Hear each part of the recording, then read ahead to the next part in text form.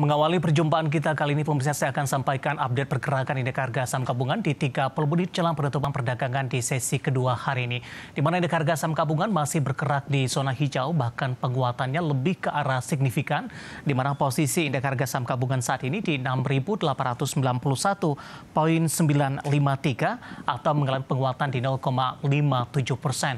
Secara intraday-nya, di tengah penguatan yang terjadi, indeks harga saham gabungan tadi sempat menembus level psikologisnya khususnya di 6.900-an, tepatnya di 6.902.303 dan tampaknya ini merupakan level tertinggi di sepanjang perdagangan hari ini. Dibuka di sesi pertama pada pagi tadi di 6.852.842 dibuka flat, kemudian level terendah di sepanjang perdagangan hari ini di 6.861.766. Sementara posisi saham-saham yang mengalami penguatan yang cukup signifikan datang dari saham-saham big terutama dari perbankan. PMRI sampai sejauh ini menguat di 2,60 persen di 5.925. Kemudian BBRI juga menguat di 2,69 persen di 5.725. Perbankan big cap lainnya BBCA menguat di 1,09 persen di 9.250.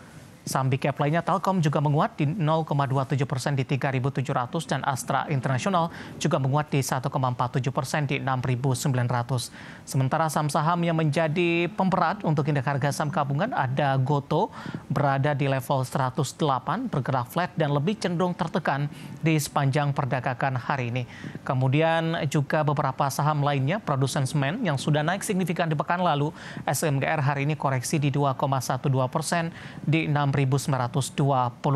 Kemudian farmasi KLBF juga tertekan di 1,07 persen dan konsumer ICBP hari ini tertekan di 1,33 persen di 11.100. Updatean posisi indeks harga saham gabungan jelang penutupan perdagangan di sesi kedua hari ini semoga bisa menjadi salah satu referensi untuk Anda.